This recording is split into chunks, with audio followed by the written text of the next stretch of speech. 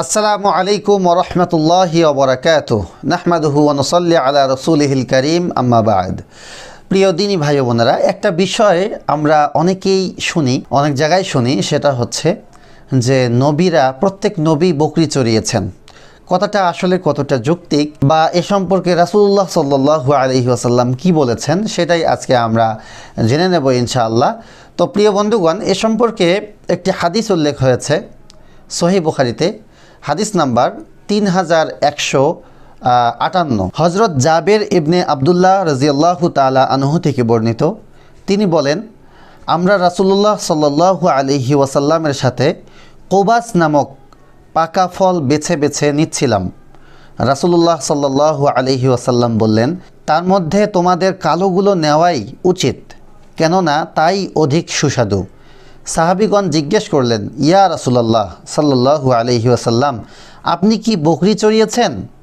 তিনি বললেন, প্রত্যেক নবী বকরি চড়িয়েছেন। প্রিয় বন্ধুগণ, আমরা হাদিসটি শুনলাম। এই হাদিসের মধ্যে রাসুল্লাহ সাল্লাহু আলহি আসাল্লাম স্পষ্টই বলেছেন যে তিনি নিজেও বকরি চড়িয়েছেন এবং প্রত্যেক নবীরাই বকরি চড়িয়েছেন। প্রিয় দিনী ভাই বোনেরা, একটু চিন্তা করুন, যিনি দোজাহানের বাদশাহ আল্লাহ তালার হাবিব, তিনি রাখালের কাজ করেছেন।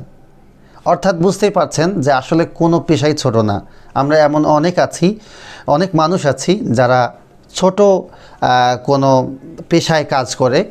কৃষক, রাখাল বা দিনমজুর, তাদেরকে আমরা অনেক ছোট চোখে দেখি।